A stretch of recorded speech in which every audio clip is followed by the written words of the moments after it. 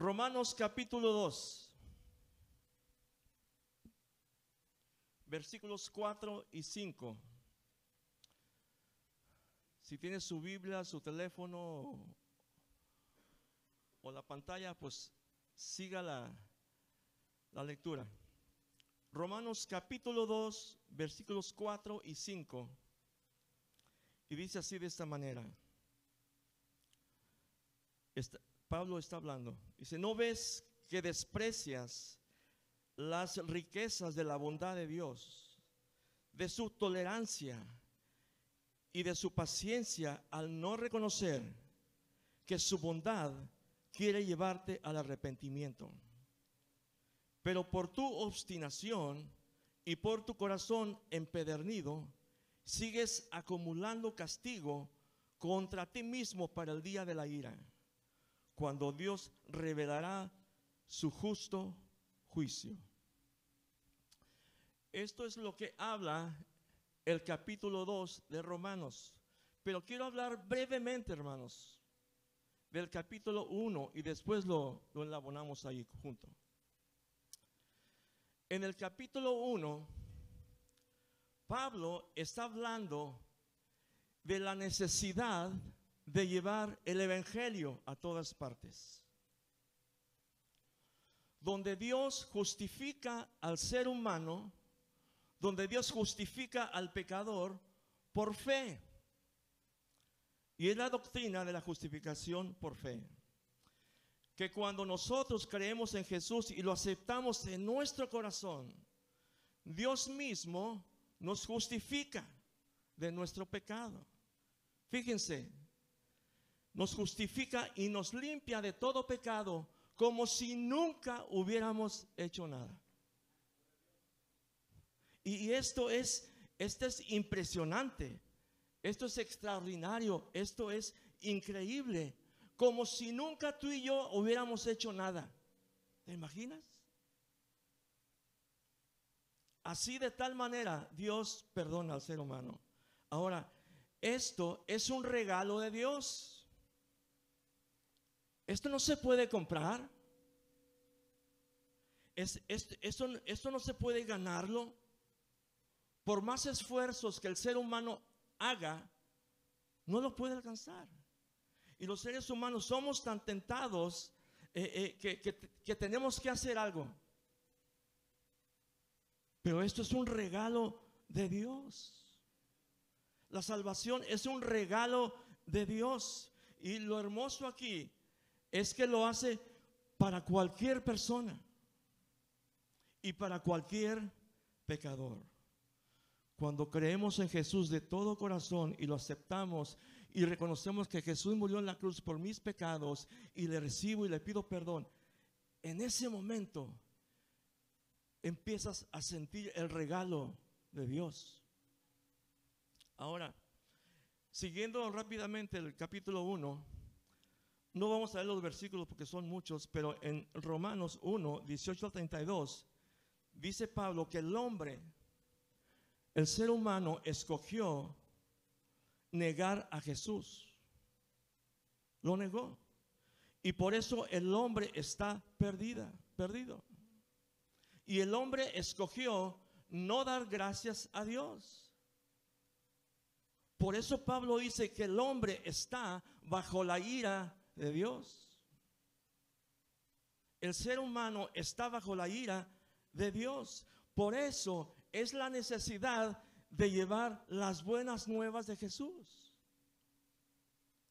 Porque el Evangelio de Jesús nos da una nueva vida, nos da un perdón, nos salva, nos restaura, nos da vida eterna, etc. Y Pablo dice, es la necesidad de llevar el Evangelio. Ahora, en el capítulo 1, Pablo se está enfocando más, se está enfocando a los gentiles. ¿Quiénes son, ¿Quiénes son los gentiles? Hay dos tipos de personas, judíos y gentiles. Los gentiles son todas aquellas personas que no somos judíos. Somos conocidos como gentiles. Y Pablo decía, ustedes los gentiles, ustedes necesitan el evangelio de salvación. ¿Por qué? Porque hay culpabilidad en ustedes.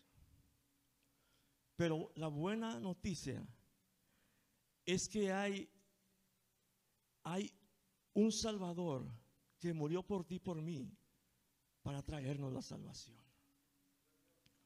Ahora, el capítulo 2 que acabamos de leer, Pablo ya no está hablando a los, a los gentiles, está hablando a los judíos. Y los judíos tenían un gran problema. Ellos juzgaban fuertemente a los gentiles. Se creían muy superiores, muy religiosos, muy elevados, muy hinchados. Y ellos decían a sí mismos, nosotros somos el pueblo de Dios. Nosotros somos descendientes de Abraham. Nosotros somos el pueblo escogido. Somos el pueblo de Dios, del linaje de Moisés. Dios nos dio la ley a nosotros. Y ustedes, gentiles, personas pecadoras, malas, merecedores de la muerte, y hasta perros les llamaban, personas malas. Y decían los, los judíos, ustedes merecen la muerte y merecen el infierno. Y Pablo dice, no, no, no, no, no, no, no. Esto no es así. Esto no es así. Ustedes también son culpables y necesitan el Evangelio de salvación. Ahora, qué lección, ¿verdad? Es como las personas hoy en día que se sienten que son muy buenas, que son muy superiores. Quizás personas educadas con mucha moralidad, personas que dicen, yo no le hago mal a nadie, yo soy muy bueno, yo no necesito de tu evangelio, yo no necesito de Dios, yo soy una persona buena, yo nunca he matado a nadie, yo no lastimo a nadie, no hacen nada por los demás, pero sí juzga a los demás. Y fíjense, hermanos, que Pablo decía a los judíos, ustedes necesitan del Evangelio de Jesús. Pero aquí empezó el problema para ellos. ¿Sabes qué hicieron? Empezaron a menospreciar el Evangelio. Empezaron a menospreciar las buenas nuevas de Jesús. Menospreciaron la obra de Cristo.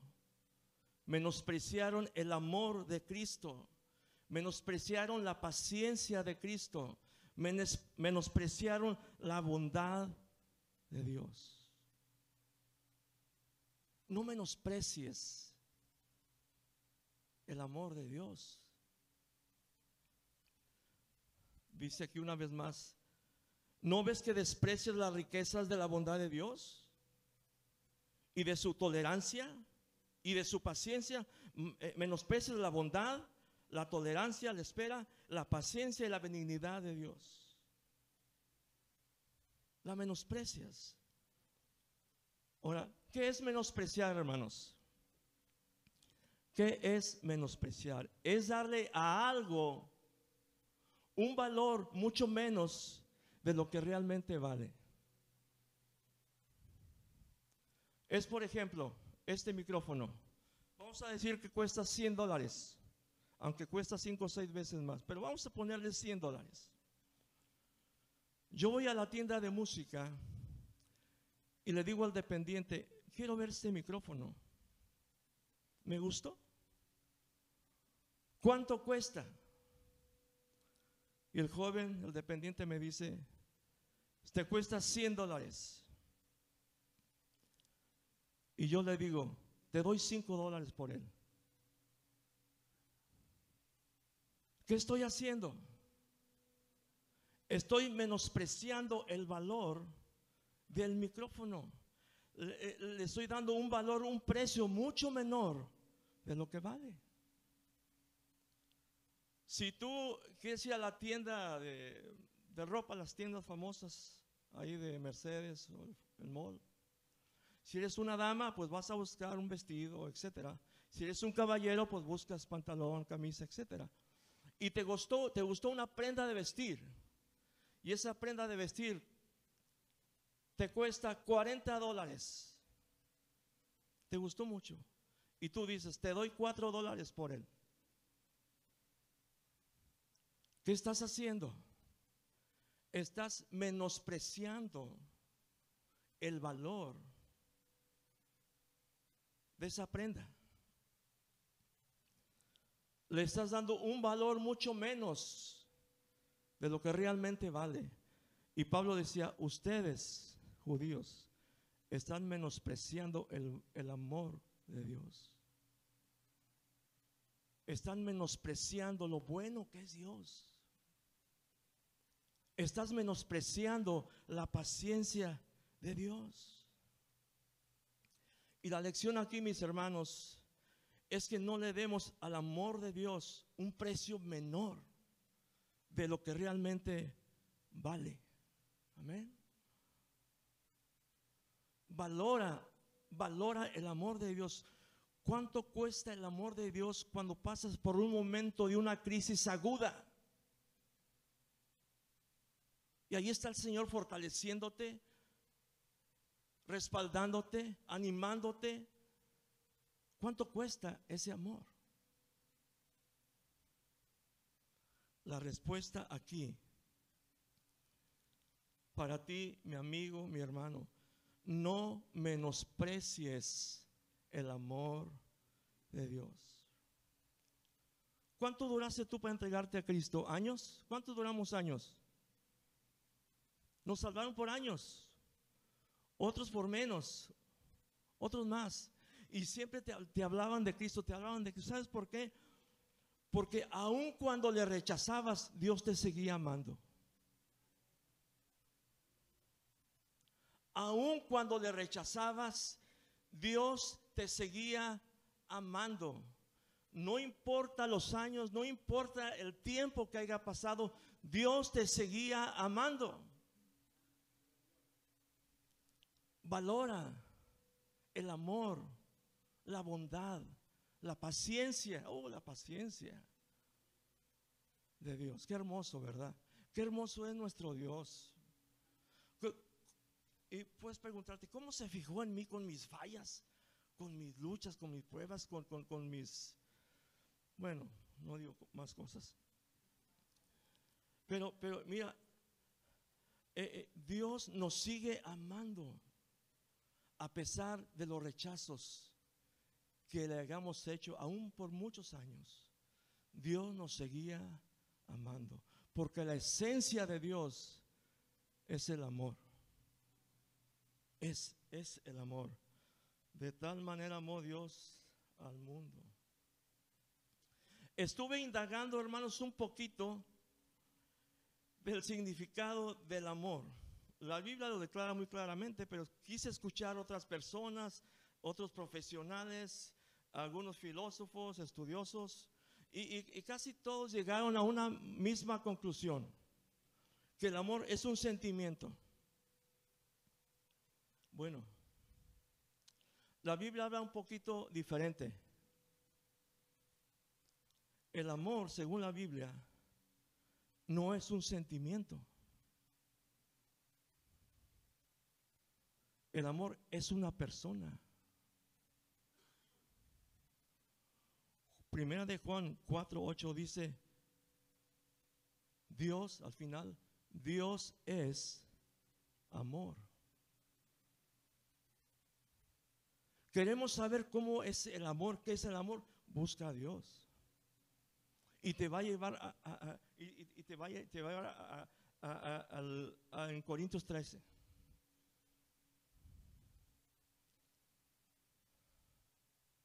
El, amor no es un sentimiento porque el sentimiento acaba, pero el amor no acaba. El amor no acaba. El amor de Dios para ti, para mí, para todos es un amor eterno. Amén. Es un amor eterno. Cuando uno acepta a Jesús de todo corazón y le recibimos y reconocemos nuestra culpabilidad y lo aceptamos, Dios empieza a trabajar en nosotros y empezamos a ser diferente, empezamos a, que el espíritu, el, fruto del espíritu nos vaya formando. Después pensamos diferente, hablamos diferente, amamos diferente, actuamos diferentes, porque el amor de Dios está haciendo su trabajo en nosotros. Entonces, este amor no es un sentimiento, porque el sentimiento acaba, pero el amor el amor no acaba. Amén. A veces vemos artistas que son personas públicas y mucho se sabe de ellos. Y a veces se casan, normal. Y, este y, hay, se ven películas y en la vida real, por supuesto, matrimonios de 20 años, 30 años, 5 años, 6 años, tres años de casados. Y, lo hemos visto, esto no, es invento, ustedes saben. A veces llega un momento en que uno de la pareja le dice al otro, quiero hablar contigo, pero vamos a ser personas razonables, no vamos a hacer mucho escándalo. Y le dice uno a la otra, lo que te quiero decir es que ya no te amo. Se acabó el amor. Así dicen. ¿Verdad que sí? Los, artistas y mucha gente. Se acabó el amor. Ya no te amo. Y en los matrimonios se dice lo mismo. ¿Cómo que ya no te amo? Tú nunca amaste. Tú nunca amaste. Confundiste el sentimiento, confundiste el amor por un sentimiento. Porque el sentimiento acaba y el amor no acaba.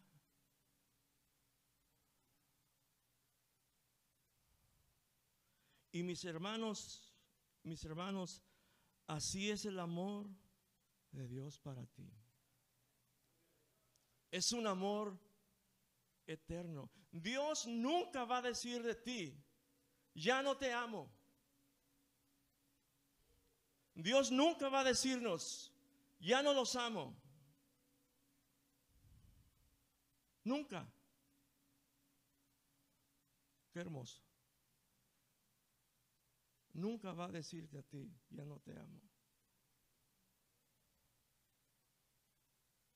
Porque Dios nos ama con un amor eterno. Y uh, dice el versículo 4, dice,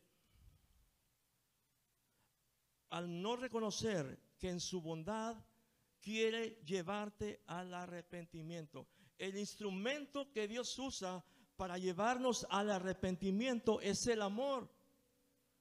¿Cuánto tiempo nos esperó el Señor? Hasta que nos arrepentimos. Quizás muchos años, muchos años. Mi papá se entregó a Cristo ya en los últimos uno o dos años de su vida. ¿Por qué? Porque Dios mantuvo su amor aún hasta el último suspiro de su vida. ¿Están conmigo, hermanos? Dice que eh, eh, el instrumento que Dios usa para llevarte al arrepentimiento es el amor de Dios. Si Dios no nos amara, no le importaríamos. Pero como nos ama tanto, Él quiere que nos arrepintamos. Si fracasamos, Dios te sigue amando. Si echamos malas, Dios te sigue amando. Amén. Ahora, uh, puede decir, decir, alguien, yo he cometido muchos errores en la vida. Pues arréglate porque Dios te sigue amando. Yo no he sido el esposo ideal. y me arrepiento, arrepiéntete porque Dios te sigue amando.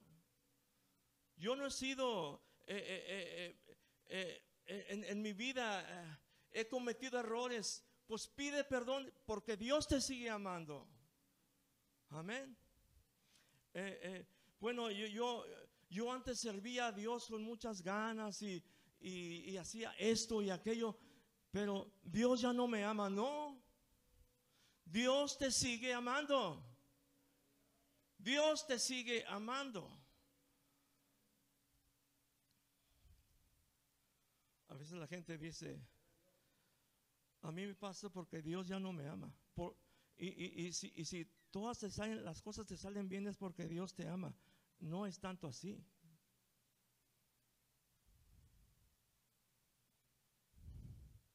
Ah, a ti no te va bien porque, porque Dios no te ama. Es mentira.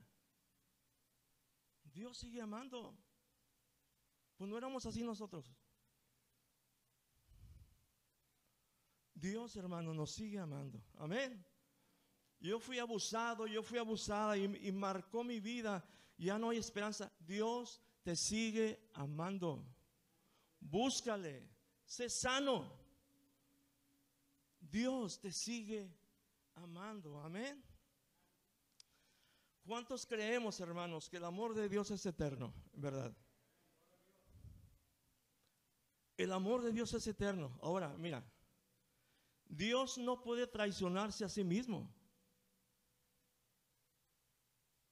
Él dice que Él tiene un amor eterno para mí. Si Él dejara de amarme, en ese momento Él dejaría de ser Dios. Y eso no va a pasar. Porque Dios nos sigue amando. Y no importa los reveses que hayamos hecho en la vida, Dios te sigue amando. Voy a terminar. El amor de Dios también, mis hermanos, el amor de Dios te lleva a la felicidad. Amén. Así que Jesucristo es la máxima expresión de amor. Sabes que el amor de Dios para nosotros es para que tengamos, mis hermanos, una vida abundante. Amén.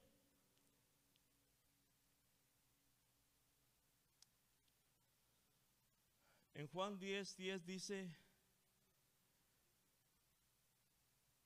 que Dios nos ha alcanzado para tener una vida abundante.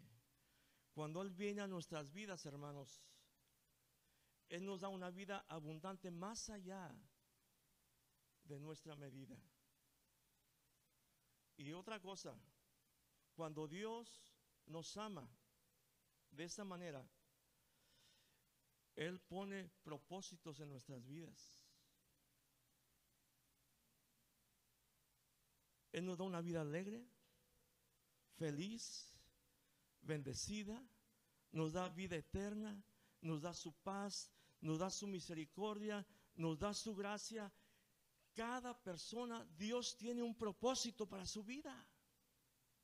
Así que eh, eh, Dios nos da una vida abundante, que es la vida eterna. Amén.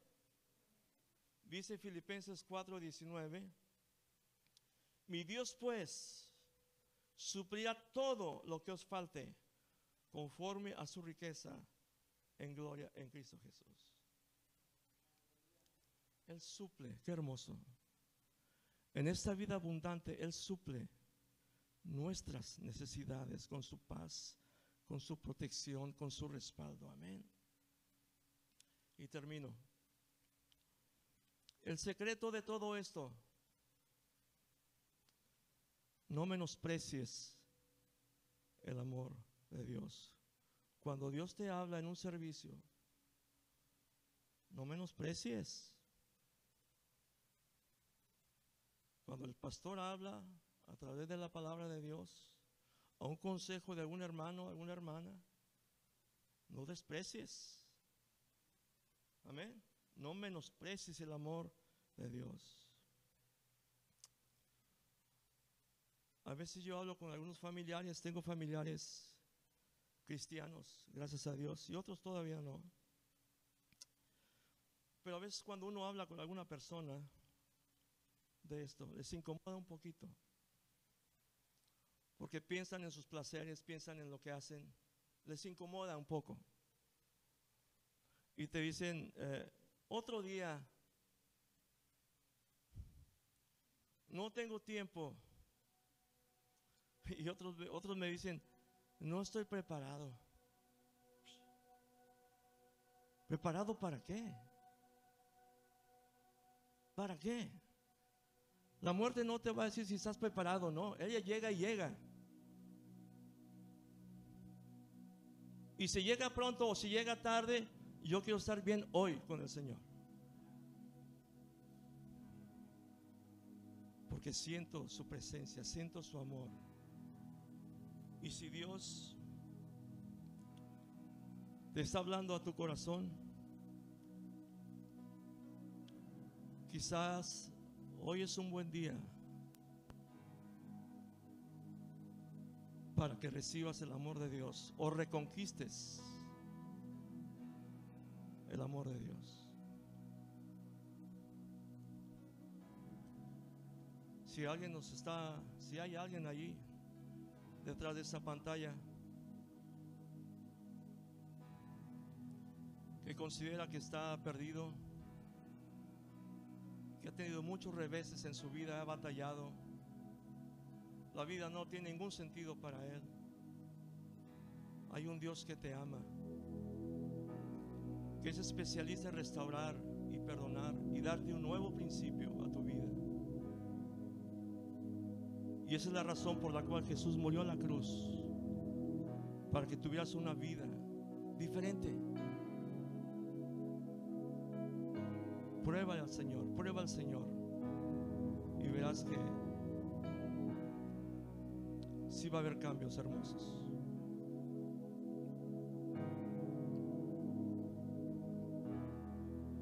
Sé que anteriormente pasábamos aquí al frente, pero ahora con el problema del COVID es difícil.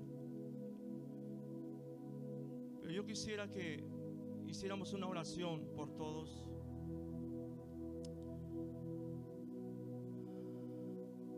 Y si alguien verdaderamente necesita reconquistar el amor de Dios, estar atento a sus palabras, pues puedes levantar tu mano y oramos por ti.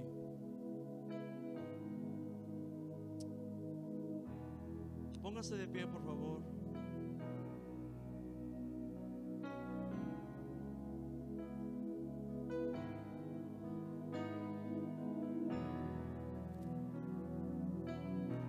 Señor, te damos gracias por las nuevas oportunidades que tú nos das, Señor. Gracias por ese amor, ese amor que no podemos explicarlo humanamente, no podemos explicarlo. Pero sé que tu amor, Señor, es real. Y tu amor perdona. Y tu amor salva. Y tu amor sana. En esta mañana, oh Dios, bendice a tu pueblo, Dios. Que sigamos estando enamorados de ti, Señor. Sabiendo que tu amor hace mi vida me hace ser diferente. ¿Cómo podríamos vivir sin el amor tuyo en nuestras vidas? Te alabamos y te damos gracias, Señor. Toca la vida de cada